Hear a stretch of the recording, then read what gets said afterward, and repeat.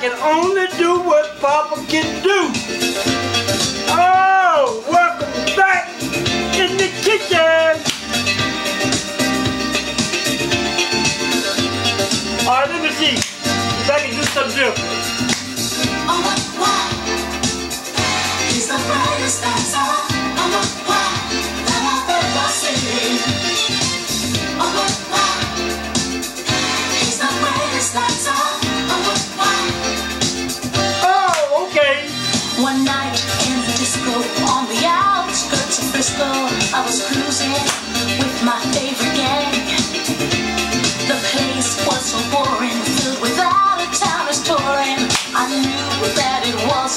Thing.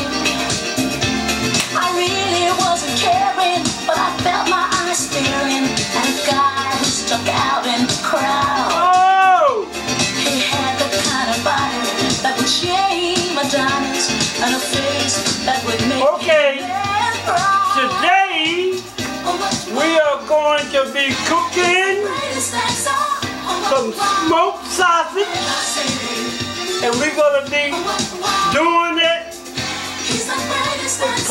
way of doing it. Smoked sausage in the house today, y'all. When we come back, we'll be doing the smoked sausage. arrogance but not conceit. As a man, he's complete. My cream de la creme.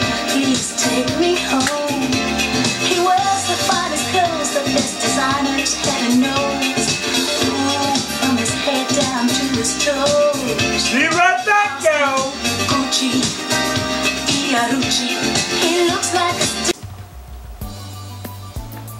All right.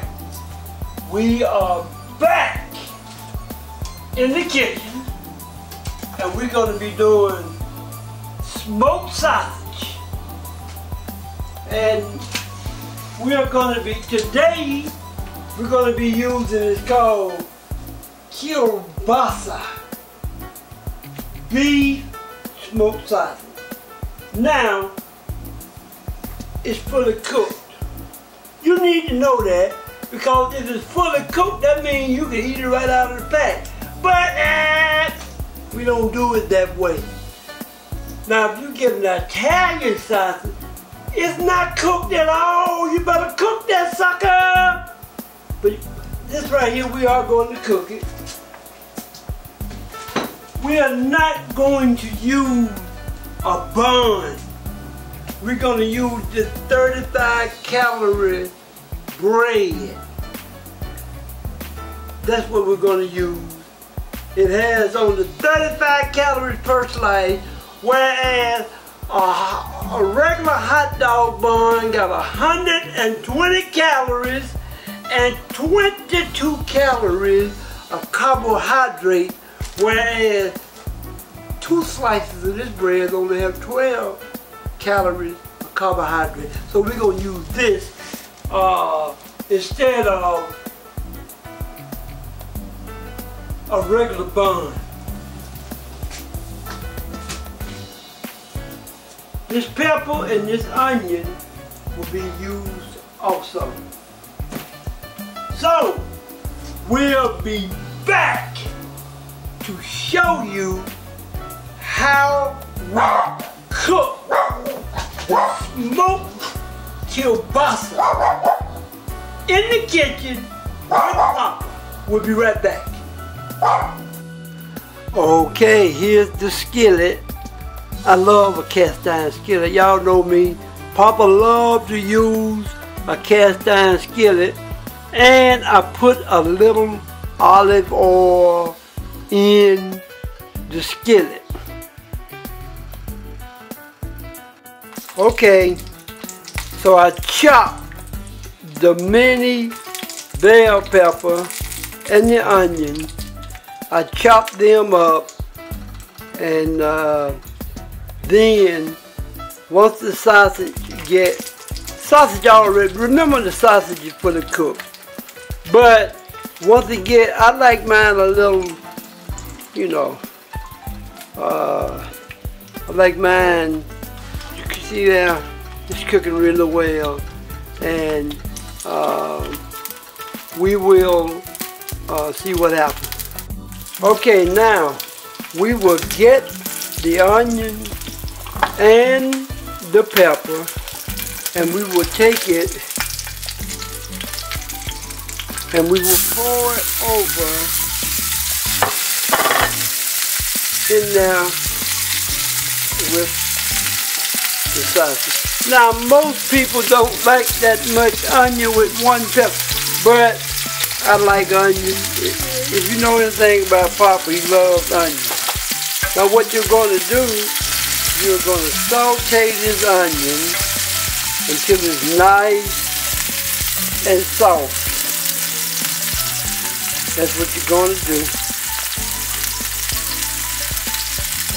Saute it till it's nice and soft. Mmm, I wish y'all could smell that. Oh! Whew, can you smell it on Facebook? Okay.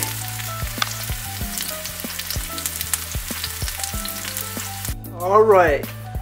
So as you can see, I've taken the sausage out, put it on the bread with the onions and the pepper. Now, if you want to get a bun, that's fine. I just like the um, bread because of the 35 calories and the low amount of carbohydrates in it. But uh, if that's but if you want to get the bun, oh, that'll work too. Now I just got to put one more thing on it. Okay, now if you'll notice, I put some pickle relish, sweet pickle relish on there too. Now, that sausage is ready to eat. I'm to put a little mustard on it and uh, hold it. I'll be right back. And now, here is the finished meal. The sausage with the onions, peppers, uh, pickle relish and mustard with some fried golden flake pork rings and a healthy salad with mozzarella cheese on the top three or four kind of baby lettuce in there with all the tomatoes jalapeno peppers and that is the way Papa likes to cook his sausage, his kielbasa. And oh, it's going to be good.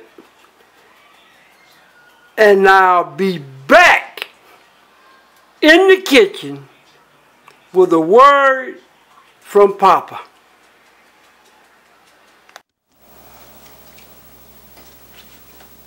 All right, we are back in the kitchen. And I got here with me Miss BLT. Look at the camera, BLT. So, hey, this is my granddaughter, and she's over visiting with Papa. And if y'all remember, I've been talking about to parents with small children. And today, me and BLT will be talking about discipline. Now, I know you're saying she's only a little baby and you can't discipline no little. Yes, you can. Listen, uh, parents will not leave their children to their own folly. Children need discipline so they'll be self-controlled. They'll have self-discipline when they get older. Also, you want children to have respect for others and respect for God. That's why you discipline. Now, I am going to give you a couple of points on how to discipline little BLT. Okay, number one, this is what you're going to do. Don't let us, the baby sleep with you. Put the baby in his own bed. I seen it. I don't want to hear him holler. I got to get up and go to work. Put the baby in their own bed. That's what you do. Don't let the baby sleep with you. And you're right. Listen, BLT sleep by herself. Okay, there's a baby monitor in there so you can hear when she wake up. But don't sleep with the baby. And listen, set a schedule. Put the baby in the bed at 8 o'clock every night. But don't you say, well, uh, uh, she can't, I can't stand to hear her cry. Put the baby in the bed at 8 o'clock every night and she'll realize that even if you cry, she cry, that's right. You ain't gonna come and get her. Put the baby in the bed. Set a schedule. And number four, be consistent. Stick with the schedule.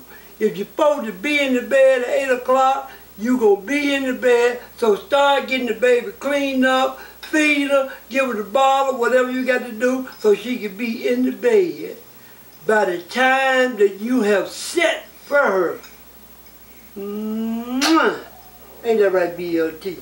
Okay, now, uh, when you're talking to the baby, look the baby in the eye. Look at, hey, BLT. Hey, BLT. See? See how you look the baby in the eye? Say, I love you. Mm, you love Papa. Look at that. Look at them eyes right there. Oh! And that's some of the tips I'm going to give you for disciplining the baby. Discipline does not mean beating up on a baby. It means teaching the baby. Alright, that's all we got for today. And next time we'll be cooking up something new in the kitchen with Papa.